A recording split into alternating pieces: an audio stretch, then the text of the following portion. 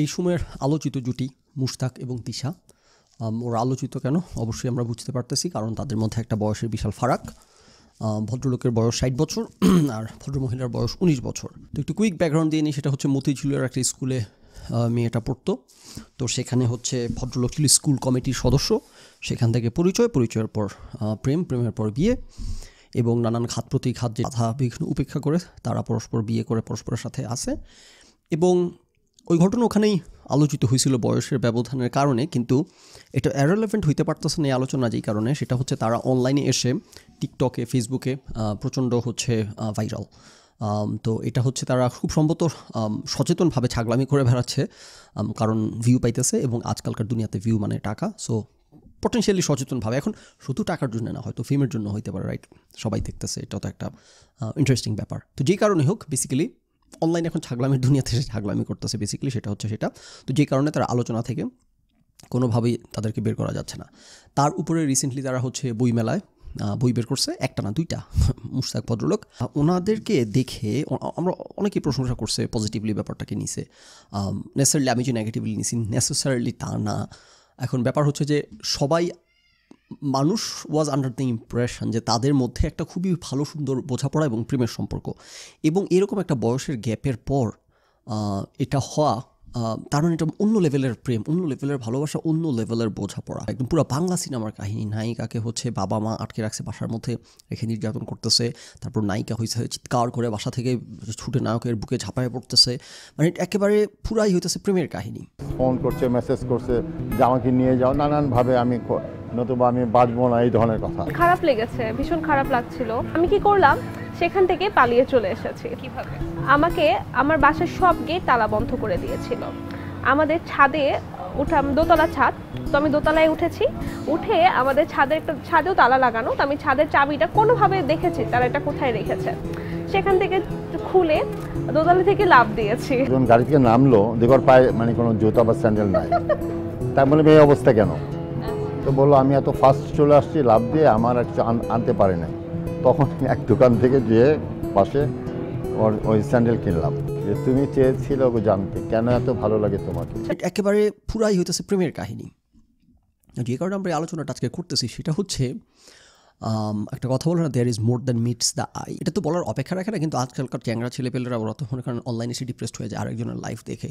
তো এটা নিয়ে বহুত কথা বলছি অতীতে, যে অনলাইনে কারও লাইফ দেখে প্লিজ ডিপ্রেসড হবে না। কারোর ফুল স্টোরি আমরা কখনোই অনলাইন থেকে জানতে পারি না। প্রথমত আমরা সবাই আমাদের ভালো দিকগুলো উপস্থাপন করি, খারাপ দিকগুলো উপস্থাপন করি না নেগেটিভ সাইডগুলো ঢেকে রাখি, বা বিকৃতভাবে টুইস্টেড স্টোরি স্টোরি উপস্থাপন করি, যেভাবে উপস্থাপন করলে নিজেকে ভালো দেখা যায় বা নিজেকে খারাপ দেখা যায় না, সেইভাবে। এবং আমরা আমাদের যে ভালোতম মুহূর্তটা আপলোড করি, সেটাও স্টিল একটা স্ন্যাপশট অফ আর ডে মাস ইয়ার তো বাদ দিলাম। চব্বিশ ঘণ্টার মধ্যে একটা এক সেকেন্ডের স্ন্যাপশট আমি এখন এই ফোনটা হাতে নিয়ে যদি এমনকার একটা ভ্যাট খায় একটা ছবি তুলি, কতক্ষণ সময় লাগছে একটা ভ্যাট খাই দিতে?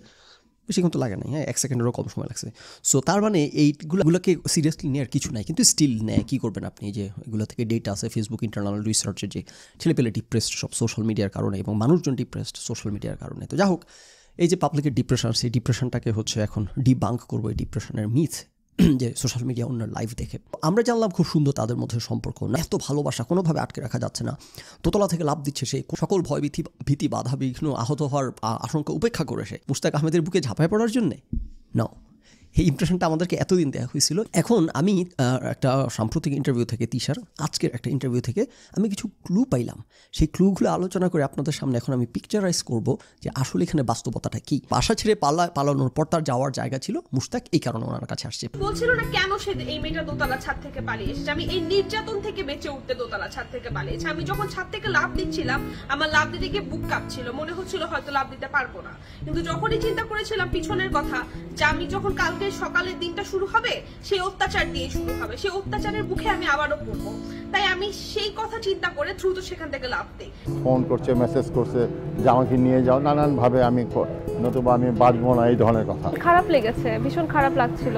নাও কেন আমরা কোথেকে হঠাৎ করে এই ভিডিওটা আসলো এবার যদি আমি একটু ব্যাকগ্রাউন্ড দিই একটু রহস্য করার জন্য পুরো স্টোরিটা শুরুতেই রিভিল করিনি আর কি এখন রিভিল করি ঘটনাটা কি ঘটনাটা হচ্ছে গতকালকে বই মেলায় তারা তো বই পাবলিশ করছে সেখানে তো সেইখানে পোলাবান তাদেরকে ধাওয়া করছে ভুয়া টুয়া বলছে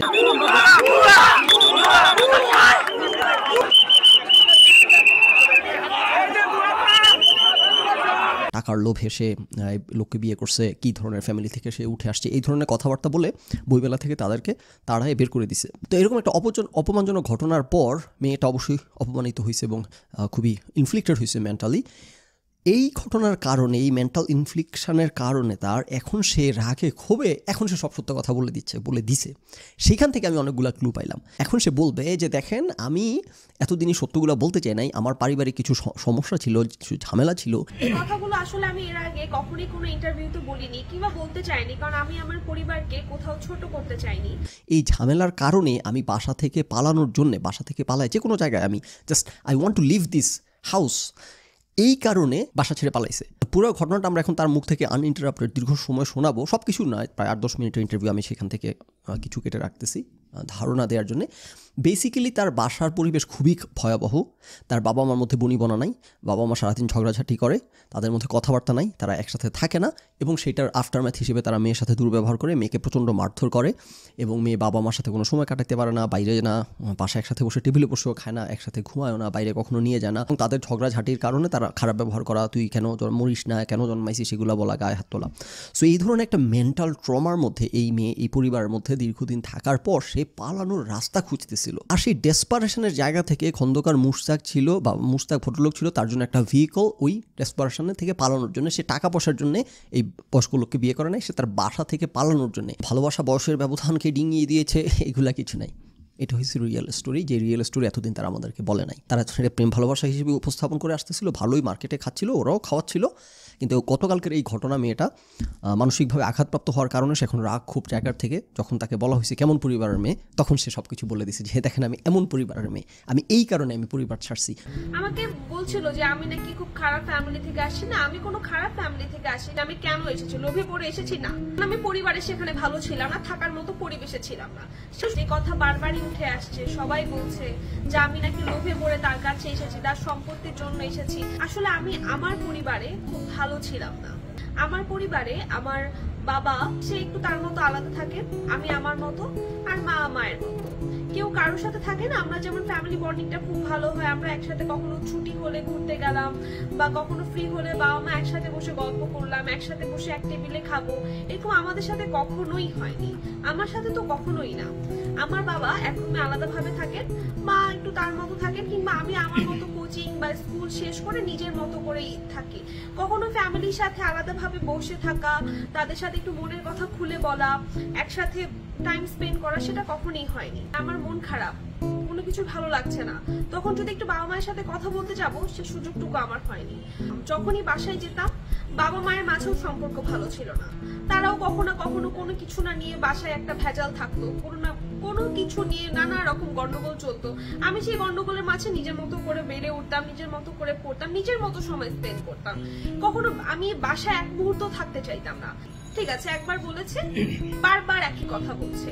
একটা সন্তান জন্ম দেওয়ার পরে যদি আমরা সেই সন্তানকে বলি, তুই দুনিয়াতে কেন এসেছি তাকে নানা রকম গালি গালাজ করি। আমার হাজবেন্ডের সাথে আমার যদি কোনো রকম খারাপ সম্পর্ক থাকে, সেই রাগটা আমি তেমন সন্তানের উপর ছাড়ি এবং নানা রকম গালি গালাজ তাকে শুনতে হয়। আর বড় হওয়ার পরে যখন আমরা তার কাছে প্রত্যাশা করব, সে আমাদের সাথে ভালো আচরণ করবে, আমাদেরকে পূজা করবে, তা তো কখনোই হবে না। সেই ইফেক্টটা অবশ্যই সন্তানের উপর পড়বে। আমার মধ্যে সেই ইফেক্টটাই ছিল। আমি এগুলো কখনোই আগে ক্যামেরার সামনে বলতে চাইনি। এই যে ঘটনা এবং এই ধরনের ঘটনা কিন্তু বাংলাদেশে আরেকটা ঘটছিল। এই যে কয়েক বছর আগের কথা আপনারা খবর আমি শিওর সারা বাংলাদেশ তখন জানতো মেয়েটার ফাঁসির রায় হয়, যে বাবা মাকে খুন করে উশি নামের একটা মেয়ে। তো এবং মেয়েটা খুন করে মেয়েটা ড্রাগ নিত, এরকম কিশোরী মেয়ে, তার তখন ফাঁসির রায় হয়। যখন সে বাবা মাকে খুন করে, তখন তার বয়স আঠারো হয়েছিল কিনা এটা নিয়ে একটা বিতর্ক হয়। হওয়ার পর শেষ পর্যন্ত, হওয়ার পর শেষ পর্যন্ত বোধহয় প্রমাণ হয় যে তার আঠারো বছর হয়, পরে তার বিরুদ্ধে ফাঁসির রায় আসে। তো এই মেয়েটা তার বাবা মাকে খুন করে, তার বাবা একজন পুলিশ সদস্য ছিলেন। একই কারণে পারিবারিক অশান্তি মেয়েকে সময় দেয় না, তারপর মেয়ে ড্রাগস নিত, তারপর শেষ পর্যন্ত বাবা মাকে খুন করে। ঐশীর সাথে তিশার পার্থক্য হচ্ছে একই ঘটনা, ঐশী বাবা মাকে খুন করে ড্রাগস নিত, আর তিশা হইতেছে বাবা মাকে খুন না করে ড্রাগস না নিয়ে সে বাসা ছেড়ে পালাইছে, পালায় যেখানে আশ্রয় পেয়েছে সেখানে গিয়ে উঠছে ইন দিস কেস একজন বয়স্ক ভদ্রলোক। এই যে যারা বলে বেড়াচ্ছে যে তারা হইতেছে কি জানি ভালোবাসা হইতেছে, জয় করেছে হচ্ছে আপনার বয়সের ব্যবধান মানে নাই মানে নাই, সেই মানে- একটা ভিডিও দেখতেছিলাম, পাইলে খুঁজে অ্যাড করে অ্যাড করে দিব না। যে অনেকগুলো ইয়াং মেয়ে এরকম তাদের ইন্টারভিউ নিচ্ছে এবং তারা বলতেছে যে এরকম তাদের কোনো আপত্তি নেই, বয়স্ক লোক বিয়ে করা নিয়ে যদি সে ভালো রাখে, যদি ভালোবাসে, এরকম। সো আমি তাদের কথাবার্তা শুনে মেয়েগুলার, অনেকগুলো মেয়ে, আমি যেটা বুঝলাম যে ইয়াং মেয়ে তো ইমপ্রেশনেবল তো তাদের ধারণা যে মুশতাকের সাথে এই মেয়ের এত সুন্দর প্রেমের সম্পর্ক ইয়াং ছেলেরা ভালোবাসে না, ভালোবাসতে জানে না, বুড়া লোকেরা ভালোবাসতে জানে, সুতরাং তারা যেখানে ভালোবাসা পাবে সেখানে যাবে এবং খন্দকার এবং মুস্তাক এবং তিসোনাদের মধ্যে কি সুন্দর সম্পর্ক, এরকম সম্পর্ক হইলে কেনা যায়। এই যে যারা বলে বেড়াচ্ছে যে তারা হইতেছে কি জানি ভালোবাসা হইতেছে, জয় করেছে হচ্ছে আপনার বয়সের ব্যবধান মানে নাই বয় মানে নাই মানে- আবার অনেকে বলে বেড়াচ্ছে অর্থ সম্পদের জন্য। তার মানে আমরা কি দেখতে পাইলাম? আমরা যা জেনে আসছি, যেটা তারাই আমাদেরকে জানাইছে, তার মানে আর আমাদেরকে সত্যটা জানায় নাই এতদিন। সো তারা মিথ্যাটা জানায় থাকুক অথবা আমরা মিথ্যাটা বুঝে থাকি অথবা আমরা আমাদের জায়গা থেকে ভুল বুঝে থাকি হোয়াট এভার ইট ইজ ব্যাপার হচ্ছে আমরা সবাই একটা ভুলের মধ্যে ছিলাম। তার মানে আমরা অনলাইনে যা দেখি তা সত্য না। আমরা অনলাইনে দেখে নিজে নিজে যা ভাবি সেটা সত্য না। অনলাইনে আমাদেরকে দেখানোর পর যা ব্যাখ্যা দেওয়া হয়, যেটা বলা হয় সেটা সত্য না। কোনো উপলক্ষ যদি তৈরি হয় আমাদের সেই সত্য জানার ইন দিস কেস মেয়ের সাথে খারাপ ব্যবহার করে বইমেলা থেকে বের করে দেওয়া সে মেন্টালি আপসেট হয়ে সকল সত্য স্বীকার করে নিছে। তো এরকম কোনো উপলক্ষ যদি আমাদের সামনে আসে, তখন আমরা সঠিক, প্রকৃত ঘটনাটা জানতে পারি, তখন আমরা বুঝতে পারি, ও আচ্ছা তার মানে অনলাইনে অন্য লাইফ দেখে ডিপ্রেসড হওয়ার কিছু নাই। অনলাইনে এরকম বয়সের, এরকম বিশাল ব্যবধান দেখে প্রেমের একেবারে এখানে নৌকা বাইতেছে, তারা দুইজন ভাবার কিছু নাই। তাদেরকে দেখে এটা ভাবার কিছু নাই যে খালি আমার পরিবারে এই গণ্ডগোল তারা সুজন মাঝি সুখের নৌকা বাইতেছে হ্যাঁ? সো যেই বেসিক্যালি যে আলোচনাটা আমি করতে চাচ্ছি, যেটা আমি মেনে চলি স্ট্রিক্টলি আমার লাইফে এবং আমি এটা প্রিচ করি, আপনারাও এটা করেন, সেটা হচ্ছে যে মানুষের লাইফ দূর থেকে দেখে জাজ করবেন না। দূর থেকে দেখে শুধু মানুষের লাইফ জাজ করবেন না, কখনো এক পক্ষের কথা শুনেও কোনো সিদ্ধান্তে পৌঁছাবেন না হাজব্যান্ড ওয়াইফ হোক, যে কোনো দুই পক্ষে ঝগড়াঝাটি হোক। বেসিকলি আপনি until and unless you know enough কোনো ধরনের কনক্লুশনে পৌঁছানো যাবে না। সকল কিছুকে ফিজ ভ্যালুতে নিতে হবে এবং সবসময় এই চিন্তা মাথায় রাখতে হবে, এই ক্যাভিয়ট মাথায় রাখতে হবে I potentially I probably don't know enough